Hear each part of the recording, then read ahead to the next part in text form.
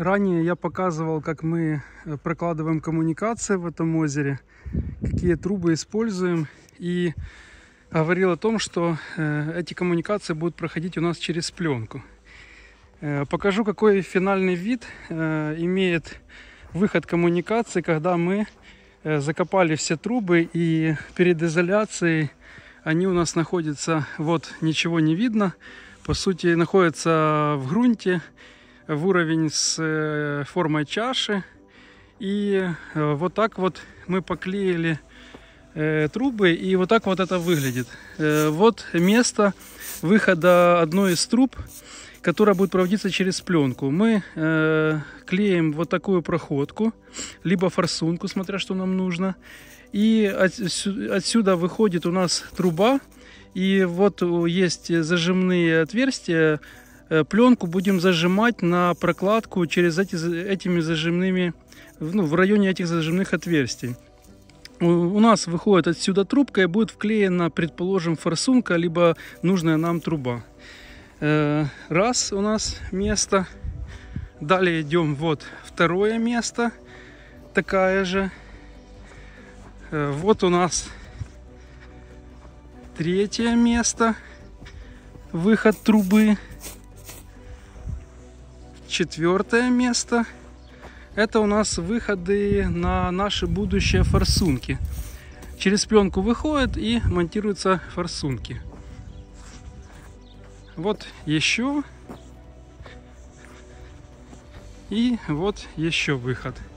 Также у нас размещены выходы в, на наши донные водозаборы и на э, на дренажный выход воды на вот эту вот зону. Вот это у нас выход под донные водозаборы. Вот, если видно, это уже не форсунка, это специальная проходка. Э, она у нас черного цвета, такая вот штукенция. Тут у нас также есть отверстие для зажима. Это прудовые проходки на 50 миллиметров диаметром. Есть больше, меньше размером, э, в зависимости от потребностей разные используем. Она вот так вот э, в уровень земли э, вкапывается и потом сюда вклеивается труба уже после изоляции. И выводятся донники, которые нам нужны, и другие трубы. Также такая же проходка вклеена под дренажную трубу с отверстиями. Сюда мы вклеим трубку и будет подача воды – у нас на трубу с дренажными э, с дренажа, э, с отверстиями, которое будет подавать на эту зону нам воду. Вот таким вот образом работа невидимая.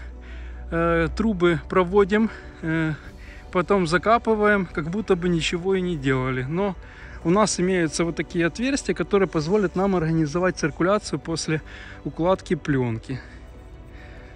Вот. И это у нас финальная работа так выглядит перед э, изоляцией. После таких видов работ, когда у нас выведены все закладные, у нас э, идет уже укладка геотекстиля и изоляция. Следующий этап. Видите, к нам прилетела опять уточка.